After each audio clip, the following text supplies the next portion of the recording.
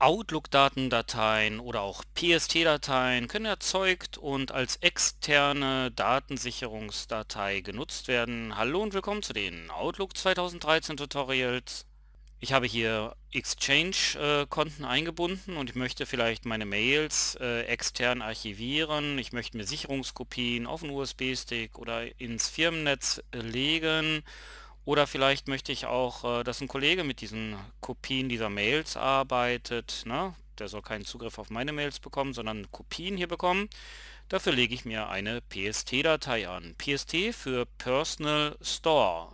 Da gilt das Highlander-Prinzip. Es kann immer nur einen geben, der damit gleichzeitig verbunden ist.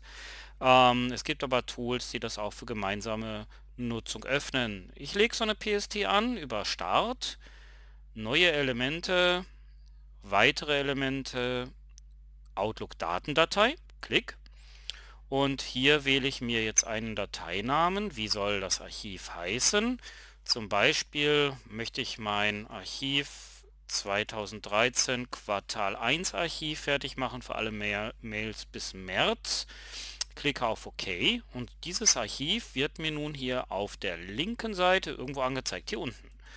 Dieses Archiv kommt ja mit einem Suchordner, mit einem Müllkorb und hier kann ich Mails auch reinspeichern und hier kann ich ganz normal E-Mail-Unterordner anlegen. Das heißt, ich kann auf Ordner klicken, neuer Ordner, ich könnte das alte E-Mails nennen und da kann ich dann Mails hinein kopieren oder auch natürlich speichern. Ich mache das hier mal zu. Das heißt, ich schnapp mir hier oben eine Mail, ja, und greife die mal mit der rechten Maustaste, mit der rechten, fahre hier runter, runter, runter. So, ich hätte natürlich auch mehrere markieren können und lasse die jetzt in den Ordner hier fallen. Und mit rechts fragt er, verschieben oder kopieren. Ich klicke kopieren, sonst hätte er sie verschoben. Und dann klicke ich hier drauf und da ist eine Kopie dieser Mail drin. So, diese, diesen Ordner, dieses PST-Archiv, Outlook-Datendatei, das kann ich auch immer schließen. Ich muss also nicht immer damit verbunden sein. Ja, also man kann es zumachen und man kann es ganz leicht wieder aufmachen mit Datei, öffnen, wo haben wir es? Öffnen und exportieren. Hier steht Outlook Datendatei öffnen. Ich klicke drauf und dann verbindet er sich hier mit meinem Q1. Ich klicke auf öffnen und dann habe ich schon wieder unten hier meine Outlook Datendatei. Die kann ich auch mit der Maus höher schieben. Ich kann die Reihenfolge von Postfächern und PST-Dateien ändern. So, jetzt komme ich da ein bisschen leichter ran. Das heißt, ich kann hier ganz schnell auch eine Mail verschieben. Ich nehme mal diese Mail hier mit der Maus links gedrückt, hier rübergezogen, ja, aufgeklappt, zack, drauf und jetzt ist sie hier weg. Jetzt habe ich sie hier extern archiviert. Ne? Vielleicht möchte ich Mails nicht löschen, sondern so aufbewahren. Also PSTs darf es mehrere geben. Man kann die auch umbenennen, rechte Maustaste. Dort steht Datendateieigenschaften und ja, hier steht der Name, aber hier oben kann ich ihn nicht umbenennen. Man muss hier auf Erweitert klicken. Erweitert. Da klicke ich drauf, Erweitert. Und hier kann ich die ändern. Da kann ich zum Beispiel Q01, gut, gibt's, oder Bindestrich 1, es gibt ja kein, äh, es gibt ja nur 4.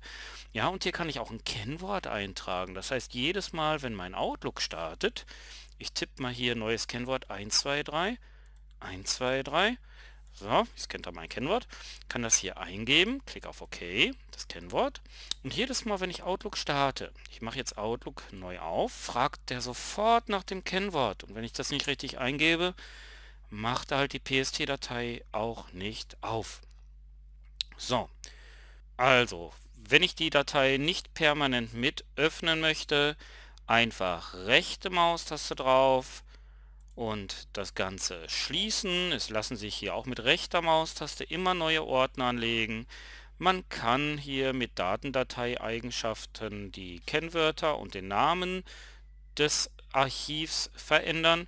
Ich würde so ein Archiv, wenn ins Netz, nicht auf eine Dropbox oder, oder auf ein SkyDrive-Konto legen. Ich, ähm, ich weiß nicht, wie er damit umgeht, wenn man nur eine Mail reinspeichert, äh, weil er ja auch lokale Kopien dann immer hält. Der hält dann eine lokale Kopie und eine im Netz und will die immer synchronisieren. Und diese Archive, die dürfen nämlich bis zu 20 Gigabyte groß werden. Also diese Archive können ganz schön massig werden und ich glaube, dann könnte es mit so einer PST ganz schön Stress geben. Im nächsten Video werde ich zeigen, wie ich dieses Archiv zusammen mit jemand anderes abwechselnd nutze und wie das dann aussieht, wenn jemand anders im Gebrauch hat. Soweit, viel Spaß damit, bis zum nächsten Video.